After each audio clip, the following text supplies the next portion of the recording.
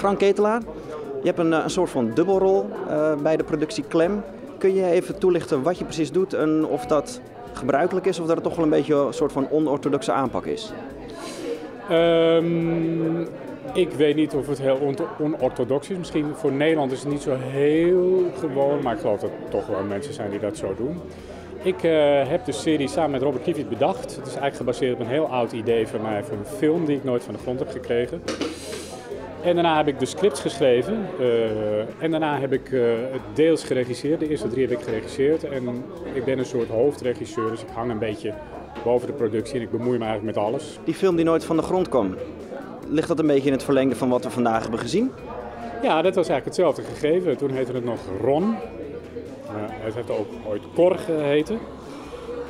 En het was eigenlijk dit gegeven. En ja, die film, ik ben met allemaal producenten bezig, met acteurs en ik was wat gedraaid ervoor. We kregen het niet rond, we kregen niet, het geld niet bij elkaar. Het heeft heel lang in een laag gelegen. En toen, na overspel, wilden we een nieuwe serie bedenken. En toen zei ik tegen Robert, nou, ik heb nog wel iets wat ik eigenlijk altijd heel erg leuk heb gevonden als gegeven.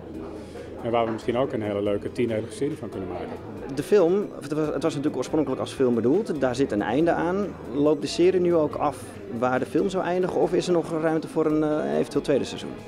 Wat ik heb gebruikt is het gegeven van de film. Hè. Dus uh, in grote lijnen die, die dochtertjes en die vaders en dan zo'n ouderavond. Hè. Um, maar de serie is natuurlijk 10 keer 50 minuten. Dat is natuurlijk een heel stuk langer dan anderhalf uur voor een film.